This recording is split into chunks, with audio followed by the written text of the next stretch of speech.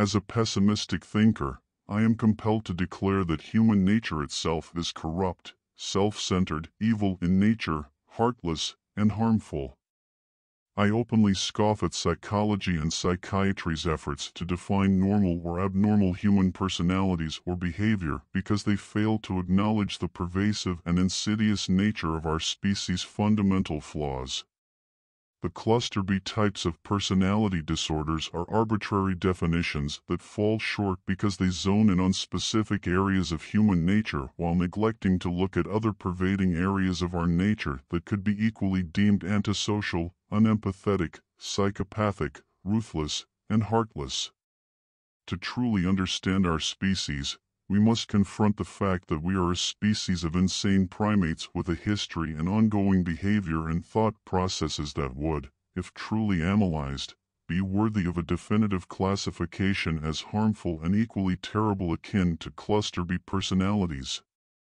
It is a sobering thought that we are descended from a long line of rapists, murderers, and tyrants.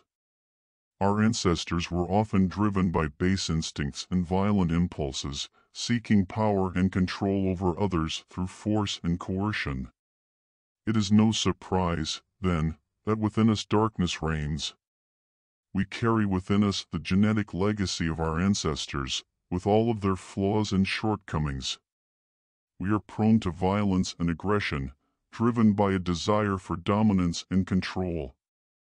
This legacy is evident in the history of human civilization.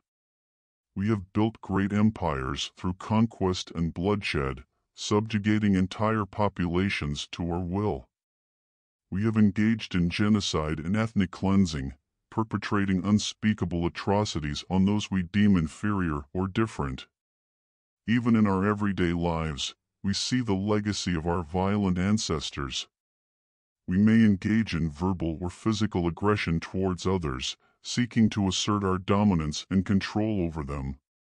We may judge others based on their appearance or status, seeing them only as means to an end rather than individuals with their own unique experiences and struggles.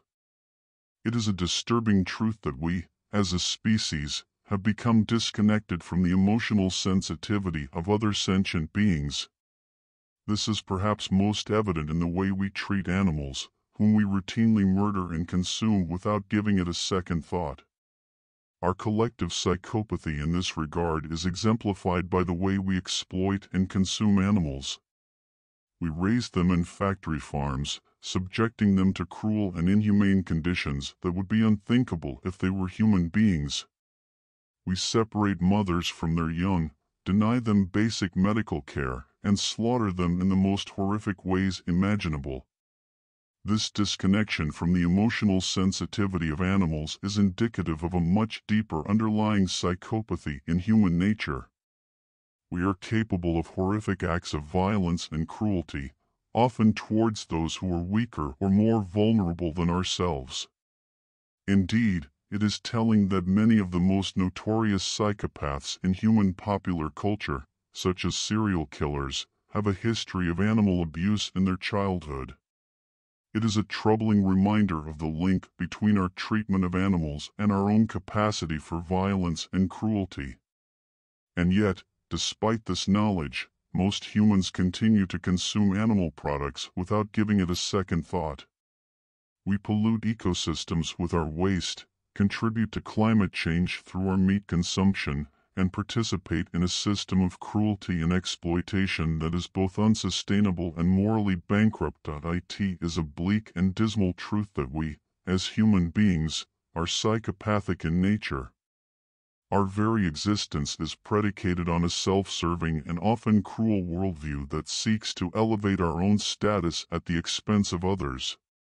It is a damning indictment of our species that we should be so fundamentally flawed, so inherently lacking in empathy and compassion, that we can be deemed secondary psychopaths at the very least. We are creatures of base instincts and primal desires, driven by an innate need for power and control over others. We judge people based on superficial reasoning that is entirely out of their control, reducing them to nothing more than objects to be manipulated for our own gain. This innate disgust we feel towards others is a symptom of our own insecurities and shortcomings, a way of deflecting attention from our own flaws by projecting them onto others. Our psychopathy is utilized by us in every aspect of our lives. We use it to navigate the world in our mating, work, friend making, socializing, and public affairs. We seek out partners who can elevate our status, rather than those who are kind, loving, and genuine. We manipulate our colleagues and competitors in the workplace, using underhanded tactics to gain an advantage over them. We choose our friends based on their perceived social status or usefulness to us, rather than their true character or qualities as human beings.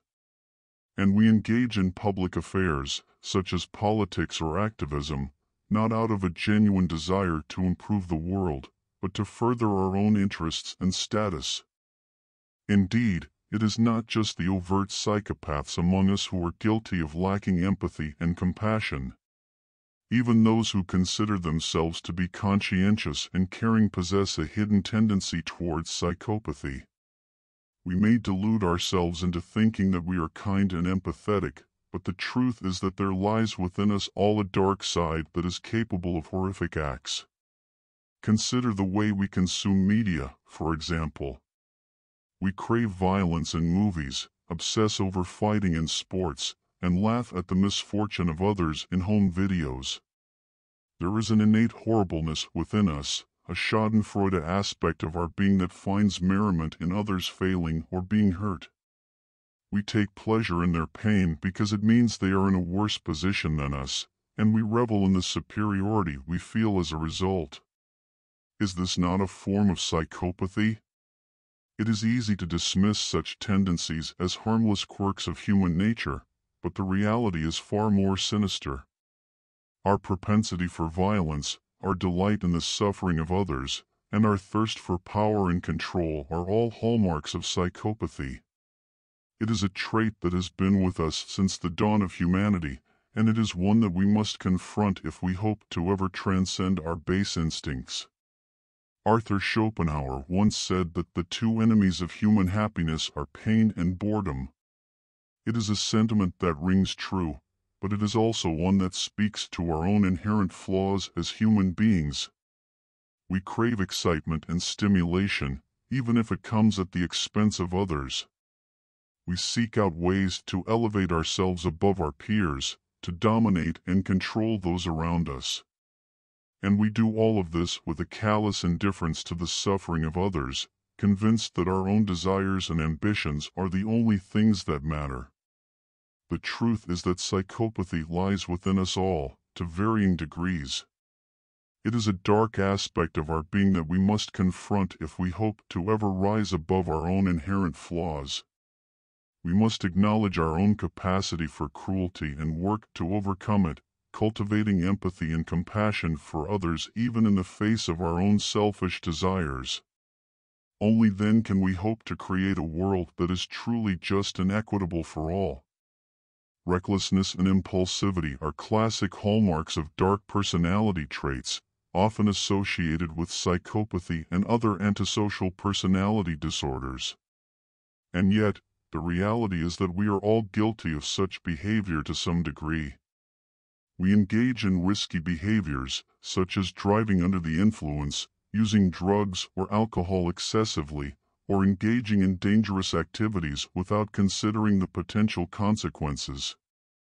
We may make impulsive decisions without fully considering the long-term ramifications, such as quitting a job without a backup plan or making a major financial investment without doing proper research. Even in our everyday lives, we may engage in reckless or impulsive behaviors without realizing it. We may engage in social media wars or post inflammatory comments without considering the potential harm to others. We may neglect our own health or well-being, failing to take proper care of ourselves or seeking medical attention when needed.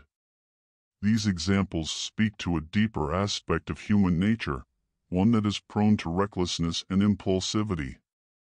It is a reflection of our own vulnerabilities and insecurities, as well as our tendency to prioritize short-term gratification over long-term goals and objectives. This recklessness and impulsivity can have serious consequences, both for ourselves and those around us. It can lead to financial ruin, physical harm, and emotional turmoil. It can also exacerbate existing societal problems, such as addiction, mental illness, and interpersonal conflict. This is the bleak reality of our existence, a truth that is both horrifying and inescapable. We are psychopaths by nature, doomed to a life of selfishness and cruelty, forever caught in a cycle of manipulation and deception. We can only hope to mitigate the worst of our instincts, to restrain ourselves from acting on our most base impulses, and to strive towards a better world in spite of our own inherent flaws. Arthur Schopenhauer once wrote that man is the only animal who causes pain to others with no other object than wanting to do so. It is a sentiment that rings true, even today, and serves as a grim reminder of the darkness that lies within us all. We must confront this truth head-on, no matter how uncomfortable or disheartening it may be, if we hope to ever overcome our own psychopathy and strive towards a better, more compassionate world. One of the most pervasive elements of our nature is our tendency to remain oblivious to suffering. We ignore the plight of others and go about our lives as if nothing is wrong. We have kids while knowing that it is causing someone to suffer and die without any guarantee of their adequate joy, which is a reckless gamble akin to psychopathy. We deceive ourselves in business and engage in ruthless behavior to get ahead, all while convincing ourselves that it's necessary to survive. We have an inability to think rationally, which is evident in our political discourse, religious beliefs, and everyday decision-making. We cling to beliefs that have no basis in fact, and we ignore evidence that contradicts our worldview. We are quick to judge others and slow to recognize our own shortcomings. We have a tendency to engage in tribalism and groupthink, which often leads to conflict and violence. We cling to our beliefs and ideologies, even when they have been proven wrong or have caused harm to others. We form alliances based on race, ethnicity, religion, and nationality, often to the detriment of those outside of our group. We have a history of engaging in wars and conflicts, often for reasons that are petty or misguided. We have used violence to subjugate others, and we have justified it under the guise of civilization, progress, or freedom. We have also engaged in genocide, slavery, and other atrocities that have caused untold suffering and destruction. We have a tendency to prioritize our own self-interest over the well-being of others, even when it causes harm. This can be seen in our economic systems, where profit and growth are prioritized over the needs of workers and the environment. We exploit resources and labor in developing countries for cheap goods, causing suffering and poverty. Our justice system is also an example of our harmful nature. We often prioritize punishment and retribution over rehabilitation and restorative justice. We perpetuate cycles of violence and trauma, rather than addressing the root causes of crime and violence. We have a history of oppressing marginalized groups, such as women, people of color, and LGBTQ plus individuals. We have denied them basic rights and freedoms and subjected them to violence and discrimination. We have also perpetuated harmful stereotypes and myths about these groups, contributing to a culture of hatred and intolerance. Our obsession with power and control is another example of our harmful nature. We seek to dominate and subjugate others, often under the guise of protecting our own interests. We engage in surveillance and censorship, limit freedom of speech and expression, and use force to suppress dissent. Narcissism is a trait that is often associated with a few select individuals who are excessively self-absorbed and grandiose. However, the reality is that narcissism is a much more common aspect of human nature, one that is present in all of us to some degree. Our addiction to technology and social media is another example of our self-centered nature. We have become obsessed with our own image, constantly seeking validation and attention from others. We have lost touch with the natural world and with each other, becoming increasingly isolated and disconnected. At its core, narcissism is a preoccupation with the self, a belief in one's own superiority and importance over others. It manifests itself in various ways, from an inflated sense of self-worth to an obsessive need for attention and admiration. We see narcissism in our obsession with social media, where we create curated online identities that project an idealized version of ourselves to the world. We constantly seek validation in the form of likes, comments, and followers, using these metrics to gauge our own worth and importance. Narcissism also manifests itself in our interactions with others. We may be quick to judge others based on their appearance, status, or accomplishments, seeing them only as means to bolster our own sense of self-worth. We may disregard the feelings and needs of others, focusing only on our own desires and goals.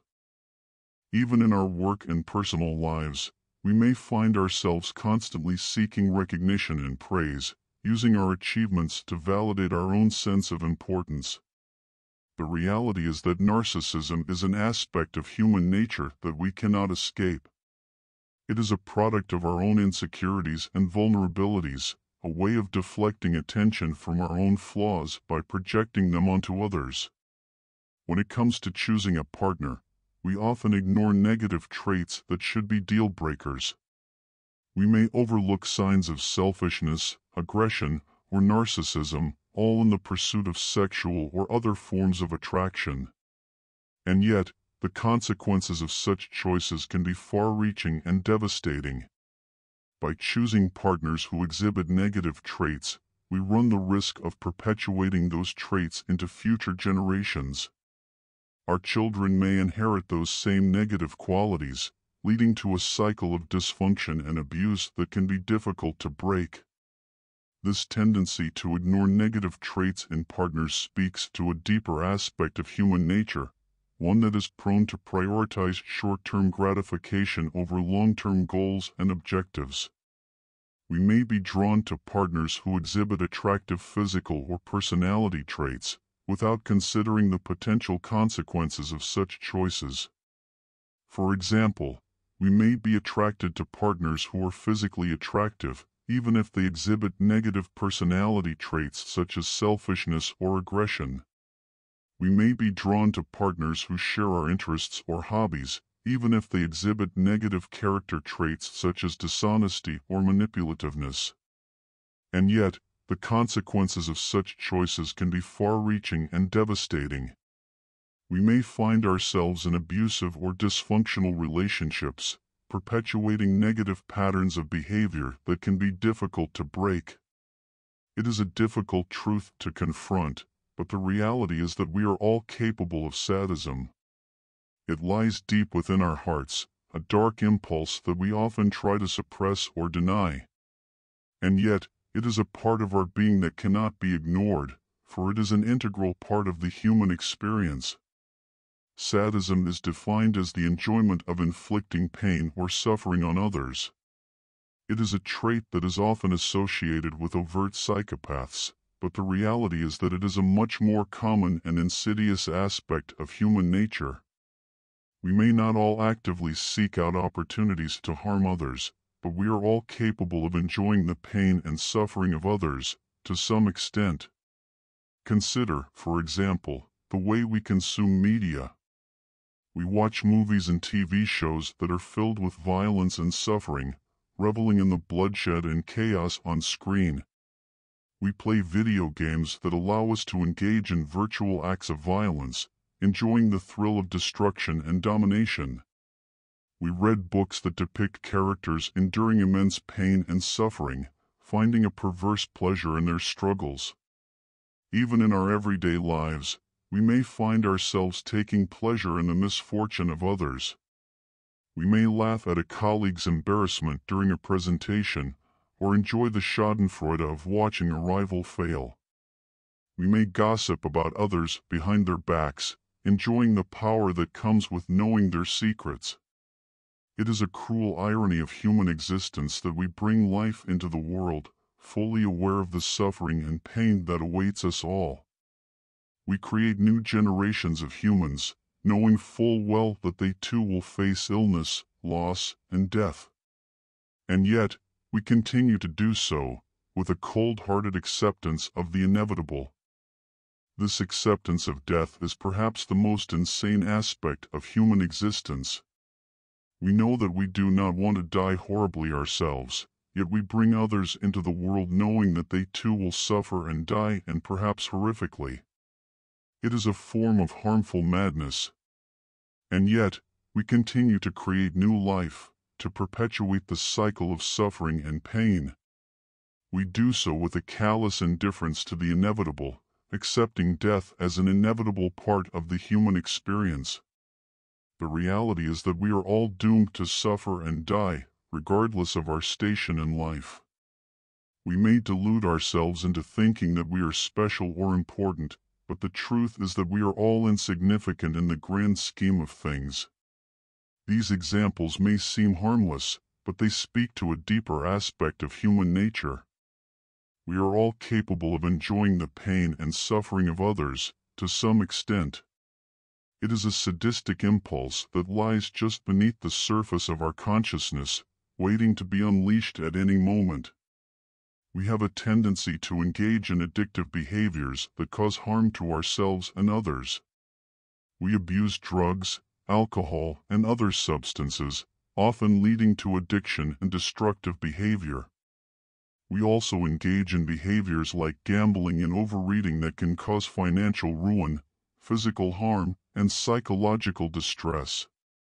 Our educational systems often prioritize competition over collaboration and cooperation.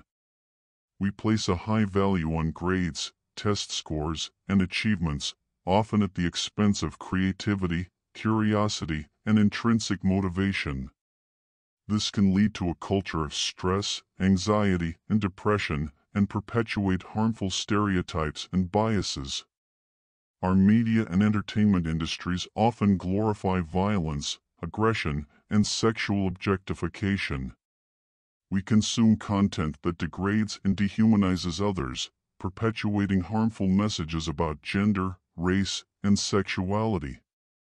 This can lead to a culture of violence and intolerance, and contribute to a cycle of harm and abuse. Our political systems often prioritize power and control over the needs of citizens. We engage in corruption, cronyism, and nepotism, leading to a lack of trust and legitimacy in our institutions. We also perpetuate harmful policies and practices, such as mass incarceration, police brutality, and military aggression.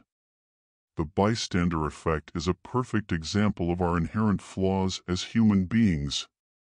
It refers to the phenomenon where individuals are less likely to intervene in an emergency situation when others are present. This effect occurs because people assume that someone else will intervene, leading to a diffusion of responsibility and a lack of action. This phenomenon highlights our tendency to prioritize our own self-interest and avoid discomfort or danger, even at the expense of others' well-being.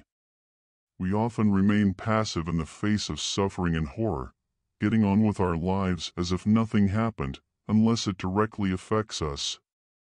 The bystander effect is a testament to our brutal nature, as it illustrates our lack of empathy and willingness to prioritize our own comfort and safety over others' lives. We fail to take responsibility for our actions and inactions, perpetuating a culture of indifference and apathy.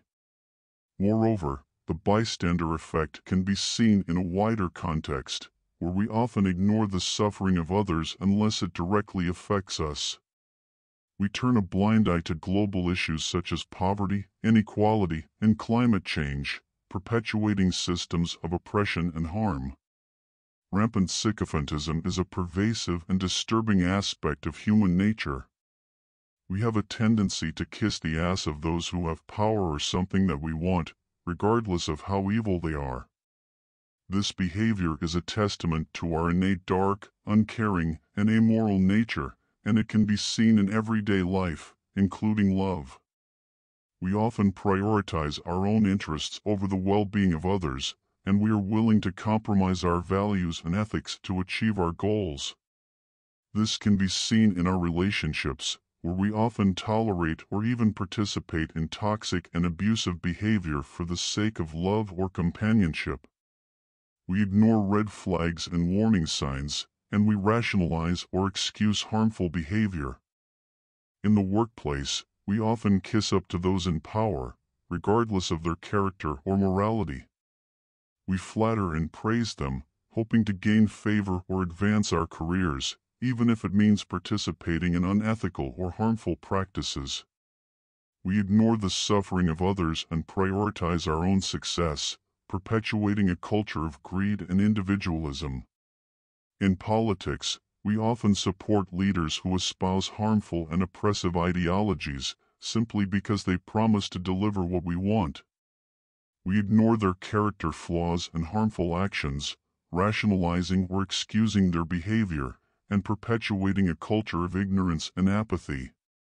The cold and harsh utilitarian aspect of society is a disturbing reflection of our innate flaws as human beings.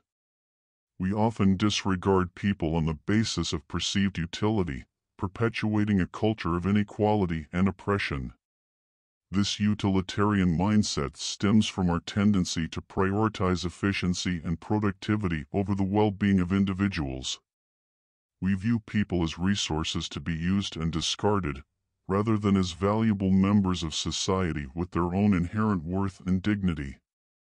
This mindset is especially evident in the realm of economics, where we measure success and value in terms of financial wealth and material possessions. Those who are deemed to have high levels of utility, i.e., those who can contribute the most to the economy, are given preferential treatment, while those who are deemed to have low levels of utility are often marginalized and left behind. This approach to economics ignores the fact that individuals have little control over their abilities and financial prowess. It disregards the fact that people are born into different circumstances and that their opportunities and outcomes are shaped by a wide range of factors beyond their control. Moreover, this utilitarian mindset perpetuates a culture of competition and individualism, where success is measured in terms of personal achievement rather than the well-being of society as a whole.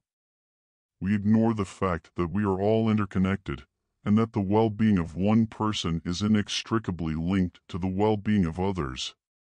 Bullying is a pervasive problem that affects both children and adults, often with devastating consequences.